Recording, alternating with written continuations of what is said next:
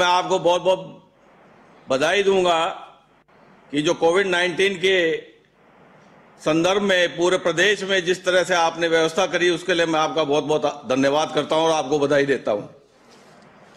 विधानसभा क्षेत्र छापरा, आज की तारीख में हमारे यहाँ कोई भी पॉजिटिव केस अभी नहीं है। और जो उपखंड स्तर पे हमारे जो क्वारंटाइन सेंटर बना रखा है, वहाँ भी हमारे पास अभी क्वारंटाइन करने वाला कोई नहीं है। पंचायत स्तर पे जो हमने क्वारंटाइन कर रखा है लोगों को, उनकी लगातार स्पीडली मॉनिटरिंग हो रही है। उनके ऊपर वहाँ पर एक टीम पूरी लगाई हुई है।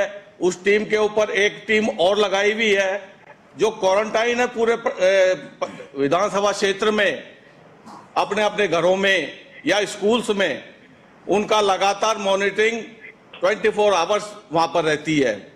और मैं कल भी वहाँ पूरे क्षेत्र में कई जगह जाके आया हूँ और स्पेशली उनसे कह के आया हूँ कि खास तौर से जो हमारा क्वारंटाइन का जो सिस्टम है और जो अभी आने वाले जो हमारे प्रवासी हैं, क्योंकि मेरे क्षेत्र में कम से कम ढाई तीन हज़ार आदमी बाहर से आएगा। कुछ परसेंट आदमी वहाँ से गया भी है। तो मैंने उनसे कहा है कि इसके ऊपर पूरा वाच रखें। जो व्यक्ति किसी और साधन से या बिगर बताए पंचायत क्षेत्र में या नगर पालिका क्षेत्र में आ जाता है तो एक बहुत बड़ा हमारे यहाँ पे अभी तक तो लाभ है कि आम जनता बहुत जागरूक है।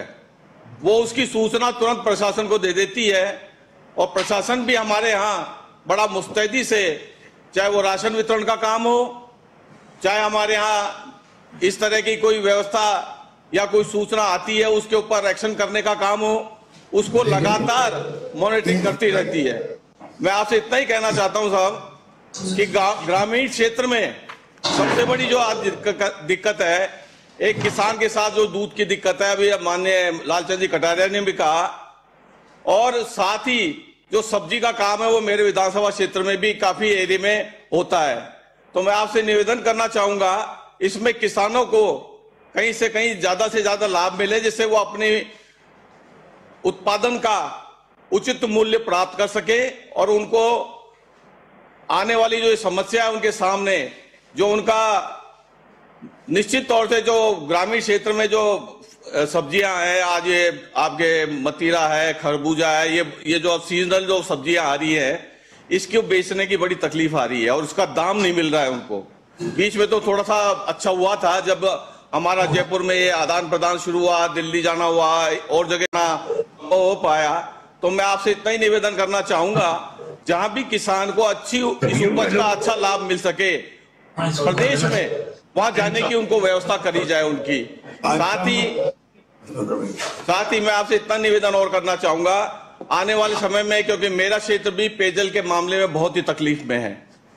मैं लगातार उसकी मॉनिटरिंग भी कर रहा हूँ तो मैं आपसे इतना ही कहना चाहूँगा कि आप, कलेक्टर साहब हो, चाहे मंत्री महोदय आपके पास विराज रहे हैं हमारे से बैठ के डिस्कस करें जिनके यहाँ ज़्यादा दिक्कत है उनको कंटेंसी प्लान बना करके जल्दी से जल्दी आम जनता को उसका लाभ दिया जाए। कल मैं था निश्चित तौर से ये टैंकर की व्यवस्था हमारे यहाँ जल्दी शुरू होने वाली है। कई जगह शुरू भी हो गई है। हमने पीएचडी के और पंचायत राज के लोगों को कहा है कि जहाँ जहाँ पंचायत क्षेत्र में पानी की आवश्यकता है वहाँ शीघ्र ही आम जनता को पानी पहुँचाने का काम आप करें। धन्यवाद बहुत धन्यवाद तो दो मिनट एक मिनट लूँगा सर आपसे।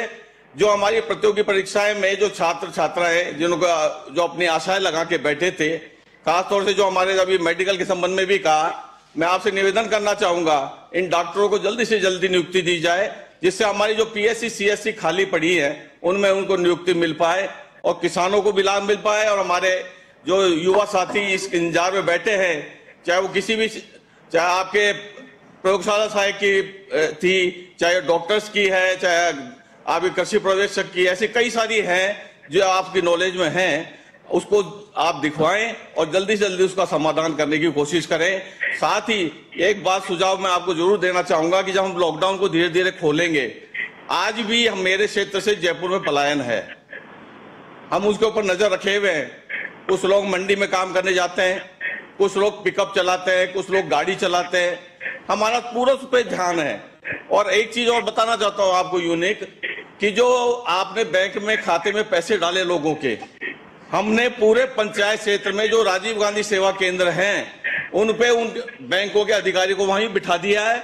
उस ग्रामीण, उस पंचायत क्षेत्र के जो भी लोग हैं, वो वहीं से अपना पैसा ले लेते हैं, उनको शाहपुरा जाने की या कहीं और जाने की बैंक के पास लाइन लगाने की आवश्यकता नहीं पड़ती। शुरुआत में जब ये लाइन बहुत लंबी लगने लगी, सोशल डिस्टेंसिंग की दिक्कत आने लगी, तब हमने बैठ के प्रशासन से बात करी। कि इसको पंचायत स्तर पे ही आप ले जाओ। और आज बड़ी खुशी की बात है कि वो सारी व्यवस्था पंचायत स्तर पे आम आदमी को मिल रही है। उससे बड़ा खुश है वो। और मैं आपको इतना आश्वासन देना चाहता हूँ कि कोई भी हमारे इलाके में कहीं भी कोई भूखा नहीं रहे। मैं भी अच्छा। पूरे टाइम इस काम में लगा रहता हूँ। पूरे टाइम क्षेत्र में भी रहते हैं। प्रशासन से भी पूरा अच्छा सहयोग है। और प्रशासन काम भी बहुत अच्छा कर रहा है। मैं आपको इतना ही विश्वास देना चाहता हूँ कि जो आज व्यवस्था है, हमारा जो कोई पॉजिटिव नहीं है, हम उसको मेंटेन करके रख पाए। इसके लिए मैं आपका बहुत बहुत धन्यवाद करता हूँ। जय हिंद, जय भारत।